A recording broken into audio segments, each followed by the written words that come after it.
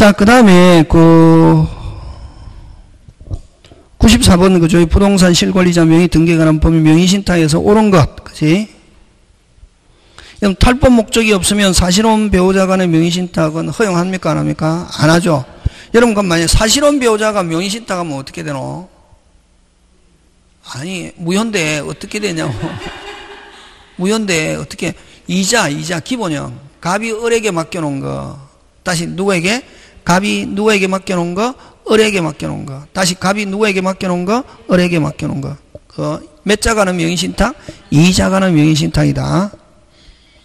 그 다음 이 법에서 허용한 상호 명의신탁, 공유, 어, 여기서 그럼 상호 명의신탁 이걸 다른 말로 구분 소유적 공유, 다시 무슨적 공유? 구분 소유적 공유에서는 분할이라는 단어 있다 없다? 없다. 공유물 분할의 소를 제기하여 해소할 수 없다. 맞죠? 예. 그럼 기억 X는 이은 O. 무효의 명의신탁 약정에 기하여 타의 명의로 등기를 마쳤다면 그는 당연히 불법원인 법이요. 여러분 불법원인 법이는 오직 몇 조일 때만 쓰는 단어다. 103조. 그지? X. 그러면 수탁자가 제3자에게 처분했다. 제3자는 무조건 뭐하다? 유효. 뭐일지라도 악의일지라도 유효. 무조건 그지? 그럼 제3자가 뭐 103조, 108조 이런 거 아니면 무조건 뭐하다? 유효. 그지? 그래서 맞는 건 니은과 뭐 리을. 자, 그다음 95번 갑니다. 자, 집합 건물에 대한 설명으로 틀린 건 했죠. 공용 부분은 구분 소유자 공유하면 그 지분은 전유 부분의 무슨 비율? 면적 비율. 무슨 비율? 면적 비율. 그 다음에 특별 승계인은 규약에 따라 전 소유자의 공용 부분에 대한 찬 공용 부분입니다. 무슨 부분? 부분은 밀려있는 관리비만 승계, 연체료는 승계한다, 안 한다? 안 한다. 상가 지하주차장, 여러분 조심해야 됩니다. 아파트 지하주차장은 구분 소유로 할 수 없지만, 무슨 주차장은 상가 건물 지하주차장은 구분 소유권은 객체가 될 수 있다. 그 다음, 재건축 비용 분담 산출 기준이 정해지지 않은 재건축 5분의 4 결의는 유효 무효 무효. 뭐가 정해진 상태에서 5분의 4 신신비비. 무슨 신? 신신비비. 신건물의 설계와 개요. 몇 세대? 신건물의 소유권은 기속. 그 다음에 비용의 계산액과 비용 분담이 정해진 상태에서 몇 분의 4? 5분의 4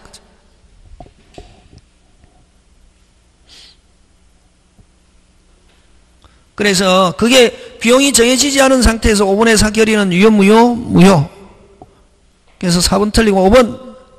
그러면 이 재건축 결의는 5분의 4인데, 여러분 반대한 사람, 반대한 사람 어떻게 처리할 건가? 반대한 사람 82% 됐다. 누가 확인하냐 하면은 집회를 소집한 자. 이런 거 꼭 기억해야 된다. 뭐를 소집한 자? 집회를 소집한 자. 지체 없이 결의에 찬성하지 않은 구분소에 대해서 결의 내용에 따른 재건축에 참가 여부에 해당할 것을 반드시 뭐로? 서면. 집회를 소집한 자 잘 낸다, 그게. 자, 그 다음 96번 갑니다. 옳은 것.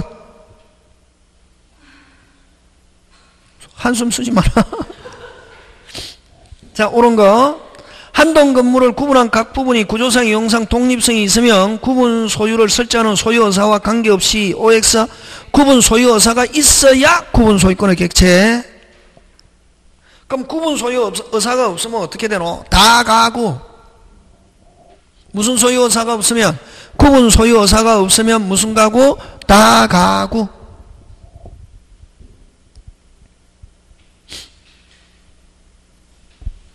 그 다음 공동주택의 공용 부분으로 건축된 부분을 자 공용 부분으로 주거용으로 개조하여 이를 매도하고 주거용으로 사용해도 구분 소유권의 객체가 될 수 없다. 한 번 공용 부분은 무슨 가지? 끝까지. 근데 예외 있죠. 규약상 공용 부분은 할 수 있지만 그냥 일반적으로 공용 부분이다 하면은 일반적으로 공용 부분이다 하면 구조상 공용 엘리베이터 복도 계단 현관 지하 주차장은 그럼 구조상 공용 부분은 절대로 전유 부분이 전용될 수 없다.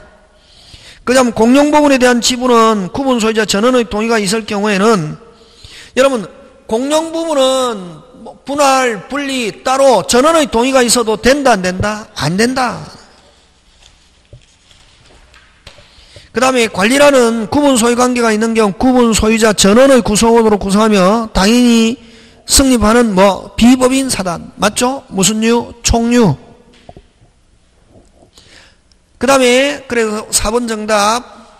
5번 앞 입주자의 모든 체납관리비를 양수인에게 승계하도록 하는 아파트 관리 규약이 있어도 규약에서는 전부 다 받을 수 있다. 규약에는 전부 다 받을 수 있다 하더라도 뭐 집합건물법에서는 특별 승계인에게 승계한다. 법률에 어긋나기 때문에 어디에 어긋나기 때문에 법률에 어긋나기 때문에 무슨 부분만 승계한다 공용 부분만 승계한다 그래서 집합 건물을 공동으로 유지 관리하여 하는 전체 공자 이게 합치함으로 유효가 아니고 무슨 부분만 승계한다? 공용 부분 체납 관리비만 승계하고 나머지는 승계하지 않습니다. 그 다음 97번 의무 위반의 효과 여러분 공동이익에 반하는 행위한다. 누가 일단 책을 해야 됩니까? 누가 책임을 물어야 됩니까? 아니 누가 책임을 묻냐고 대표자가 몇 사람 한 사람 어떤 한 사람 각 부문 소유자가 아니고 뭐 관리인 또는 관리단 집회 결의에서 지정된 구분 소유자가 다시 누가 책임을 물을 수 있냐 하면 대표자 대표자는 누구? 관리인 또는 관리단 집회 결의에서 지정된 구분 소유자가 직접 행사합니다. 어떻게? 1차는 직접. 1차. 1차.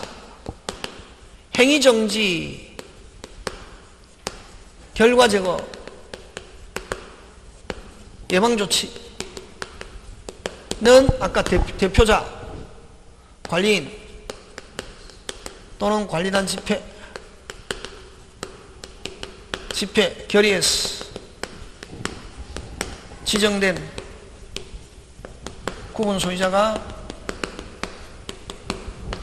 직접 행사하고 했더니 말을 듣더라 안 듣더라? 안 듣더라. 그럼 2차 외워야 된다. 이거 사용금지 경매 청구 사용 못하게 하고. 여러분 대한민국은 민주주의 국가고 소유권 절대 내 거 내 마음대로 하는데 아예 아파트 주민이 사용 못하게 하고 채권 채무도 없이 경매하고 그 다음에 요거는 소유자가 위반했을 때고 그 점유자가 전세권자나 임차인이 있을 때는 해제 및 인도 청구. 소유자도 아닌데 해제하는데 요것도 똑같다. 위에 가로 똑같다. 대표자가 책임을 묻는다 몇 분의 몇 동의를 얻어서 4분의 3 동의 얻어서 어디에 법원에 청구합니다 요 2차는 법원에 청구해서 법원의 결정이 떨어지면은 사용 못하게 법원의 결정이 떨어지면은 경매. 법원의 결정이 떨어지면 판결이 있으면 소유자도 아닌데도 불구하고 관리인이 해제 및 인도 청구. 이렇게. 1차, 2차. 되겠습니까? 그래서 1번 각 구분 소유자 가 아니고 뭐다? 아까 뭐 관리인 또는 관리단 집회 결의에서 지정된 구분 소유자. 그래서 1번은 행위정지니까 여기지 여기. 직접 행사한다.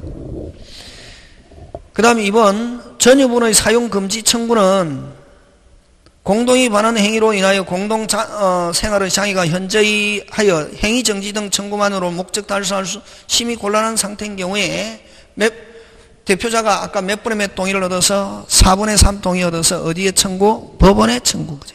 경매를 명하는 재판 역시 규약에 의한 의무를 현저히 위반한 결과 공동생활 유지하기 극히 곤란한 때에 할 수 있다.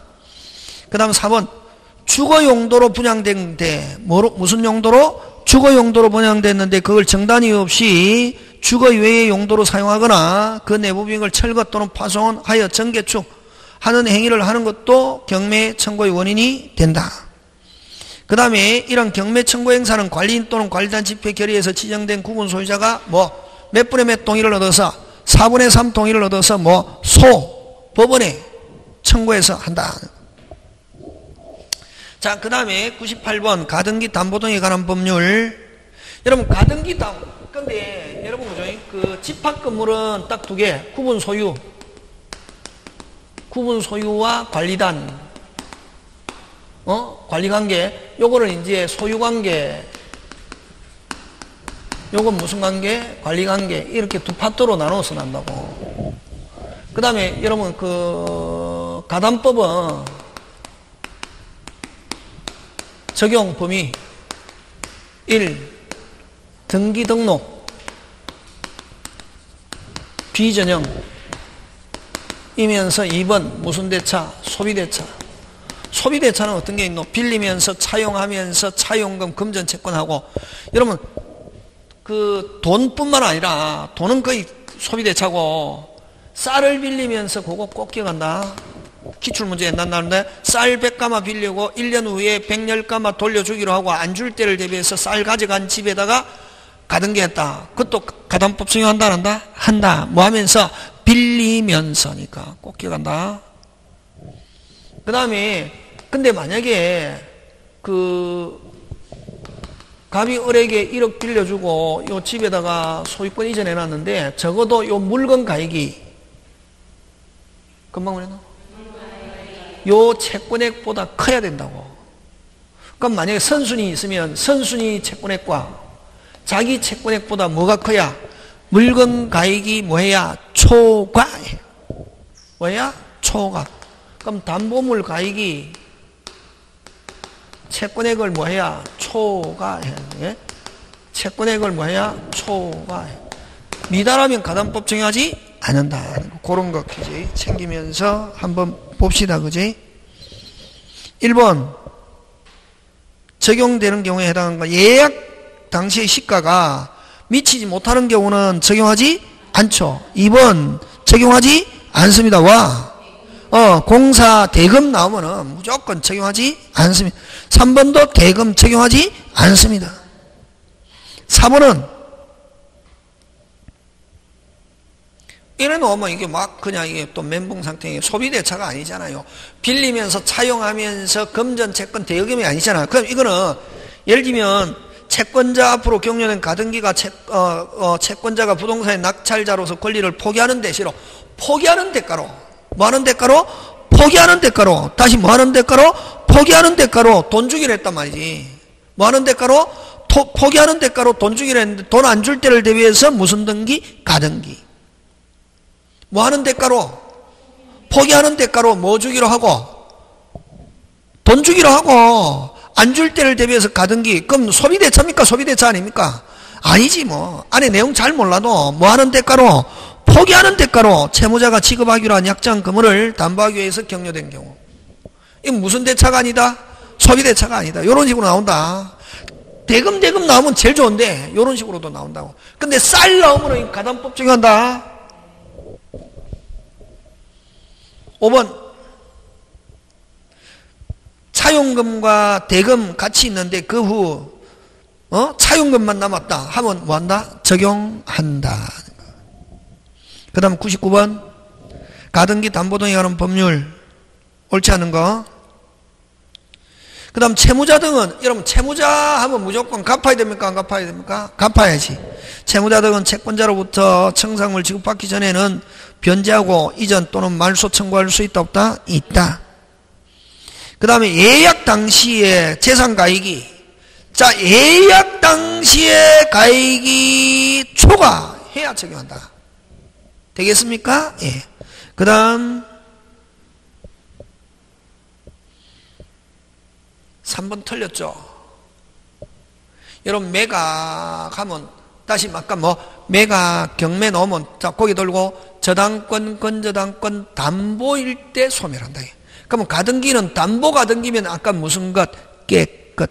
담보 가등기가 아니면 말소보다 빠르면 살아남고 말소보다 늦으면 소멸하고. 그래서 요거 경매가 이전 때 가등기 목적과 관계없이 소멸한다가 아니고 담보 가등기라야. 무슨 가등기라야? 담보 가등기라야. 다시 담보 가등기라야. 지금 됐습니까? 예. 그래서 3번 틀리고 4번. 여러분 담보가 등기 후에 대항력이 있는 임차권을 취득한 자는 청산금 범위 안에서 동시행 근데 여러분 또 조심해야 돼요 실행에서 실행에서 목적물 평가해 갖고 빼잖아요 누구 거 빼노? 선순위 거 뺀다 누구, 그래서 청산금을, 그거 잘 나온다. 청산금을 계산함에 있어서 모든 채권액을 고려, OX, X, 누구 것만 고려? 선순위 거. 그러면 후순위는 무슨 금 범위 안에서? 청산금 범위 안에서 배당받는다. 자, 그래서 선순위 거는 누가 갚는다, 누가 갚는다, 빨리 채권자가. 그래서 뺀다. 그래서 후에 대항력을 취득한 자는 무슨 근범위 안에서? 청산근 범위 안에서 그 다음 5번 갑니다. 채권자는 담보부동산에 이미 소유권 이전 격려된 경우 자 이미 소유권 이전 격려된 경우 양도담보를 가리킵니다. 무슨 담보? 양도 청산기간 후에 청산금을 채무자 등에게 지급하면은 청산기간이 경과하고 청산금 주면 즉시 소유권 취득합니다. 이미 무슨 건 이전되어 있기 때문에 소유권. 그 다음에 가등기 담보는 청산금 지급과 본등기는 무슨 이행? 동시에. 그러면 만약에 가등기 되어 있는 경우는 아직까지 청산금 주고 완전히 무슨 등기해야 소유권? 본등기. 그러면 양도담보는 청산금 주면 무슨 시? 적시. 그 다음 100번 갑니다. 틀린 거. 가등기 담보 등에 관한 법률은 부동산 소유권 이외의 권리 취득을 목적으로 한 담보계약에 세거나 전세권, 저당권, 질권은 적용하지 않는다. 출처야지 전세권부터. 그거 먹고 왜 적용 안 하노? 전형담보, 민법, 다시 뭐 전형담보 무슨 법, 민법. 꼭 그래서 가담법 적용하지 않는 것 하면 무조건 저당권, 질권, 전세권 세 개. 그 다음에 소비대차의 부서에 비전형 담보를 설정한 경우에 하여 동법 적용하는데 따라서 대금인 경우는 적용한다 안 한다? 안 한다. 그 다음에 담보 부동산에 대한 예약 당시의 시가가 채권에게 미치지 못하는 경우 그럼 요 미치지 못하는 경우는 가담법은 적용하지 않지만 다시 뭐 가담법은 적용하지 않지만 채무자는 갚아야 됩니까 안 갚아야 됩니까 갚아야지 청산 절차는 따라서 채무자는 스스로 변제하고 말 수 없다가 아니고 뭐 있다 돈 갚고 단지 가담법 적용 안 할 뿐이지 그래서 틀린 건 몇 번? 3번 그 다음에 가등기 담보권자는 경매를 실행할 수 있고 경매 절차에서 우선 변제받는 범위도 저당권과 차이가 없다 그 다음 5번 담보부동산에 관해 경매가 실행되면 여러분 어? 모든 가등기 모든 가등기 담보. 야, 모든 나왔죠. 담보. 모든 동그라미 담보. 모, 담보는 무조건 경매가 되면 무조건 무슨 것? 깨끗한 것. 되겠습니까? 담보라는 말이 안 붙어 있으면 소멸 안 할 수도 있다. 근데 뭐라는 말이 붙으면 빨리 저당권, 건저당권, 담보는 경매가 되면 배당 받든 못 받았든 무슨 건? 깨끗한 것. 되겠습니까? 예. 오늘 여기까지 하고 여러분 그저 그 100개 중요하죠. 어려워도 요거 자꾸만 돌려갖고 요 수준으로 맞춰야 된다.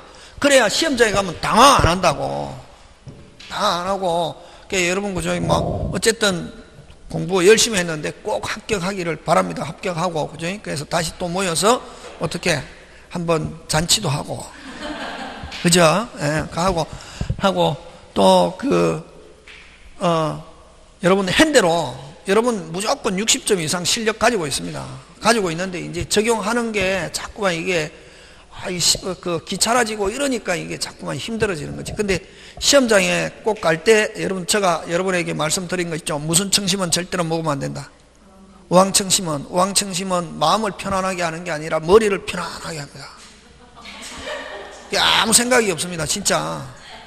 어?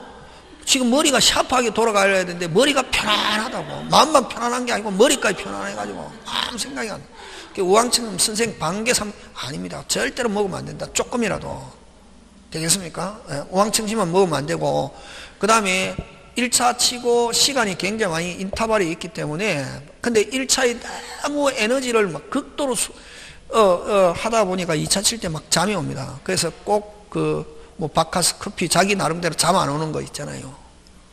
안 되면 바카스 한두 병 먹어도 괜찮다. 그날 밤에 잠 안 와도 괜찮거든. 뭐만 하면은 합격만 하면. 근데 여러분 바카스 계속 먹으면 잠 안 온다. 저는 어떤 사람 뭐 커피 뭐 안 되면 커피 뭐 아침 아침 많이 먹든지 뭐 하여튼 알아서 그렇게 해가지고 하고 그하고 그 2차까지 칠 때 한 2시간 정도 인터벌이 있거든. 그래서 여러분 그 점심은 꼭 들고 가야 먹어야 됩니다. 가는데 그 점심은 뭐 어떤 사람 뭐, 뭐 이렇게 나는 뭐 그 소화시키는 데는 난 문제 없어 하면 김밥 한 줄 사가면 되고 안 그런 사람은 여러분 밥통에 그 봄, 봄, 그 도시락에 죽 있죠, 죽. 어? 아, 옛날에 뭐 굉장히 극도로, 여러분 공부 아예 안 한 사람은 극도로 이런 거 없거든. 근데 여러분은 쭉 장기간 열심히 했기 때문에 굉장히 스트레스 받는다고. 그럼, 그럼 1차 치면 그 2시간 남는데, 어? 2시간 남는 공부하고 싶은데 절대로 맞춰보면 안 되거든. 근데 막 맞춰본잖아요. 뭐 나왔다, 막. 그럼 내 거 맞는가 보거든. 근데 내 거 맞으면 다행인데 틀렸잖아요. wow, 그다음부터 공부가 안 된다고. 맞춰보지 말고, 1차 뭐 무조건 통과니까. 에? 하고 그 다음에 답은 저녁 때 6시가 되는 게 진짜다. 6시 딱 그, 어, 관리공단에 들어가면 딱 뜨거든. 뜨고 그냥 마음 편하게 해가 열심히 해서 꼭 그, 가고, 이 쭉 해갖고 자기가 여러분처럼 열심히 했으면 60점 받습니다. 100점이 아니고 몇 점? 60점. 그래서 그 꼭그 그 시험 치는 전날 꼭 어떻게 학교론 1차 점검하고 한번 보는 거하고 안 보는 거하고 하늘과 땅 차이다. 계속 퐁당퐁당 이렇게 왔다 갔다 조금씩 조금씩이라도 봐야 된다. 네? 늘한 거, 그죠? 근데 이제 보는데 뭐 총칙 같으면은 의사표시 대리, 예? 딱 보고 뭐 무효 취소 시간 있으면 보고 그 다음에 이제 물건 이렇게 쭉쭉쭉 해고 한 거 있잖아요. 노트 있잖아요. 노트. 쟁점 한거 있잖아요. 제목만 봐, 도 된다. 자세히 볼 필요 없고 생각나게. 어?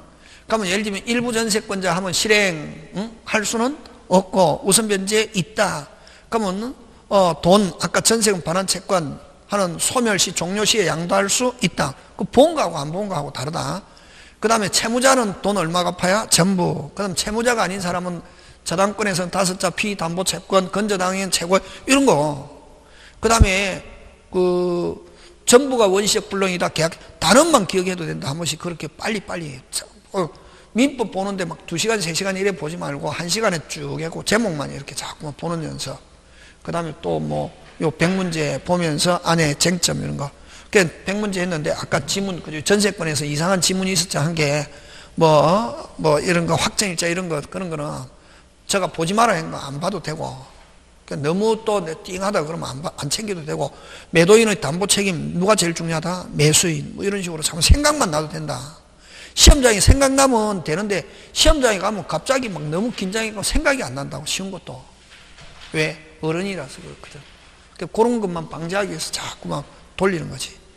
오늘 강의는 여기까지 하고 여러분 구정에 꼭 즐거운 소식 기다리면서 저도 학습 고도하겠습니다. 예, 수고하셨습니다.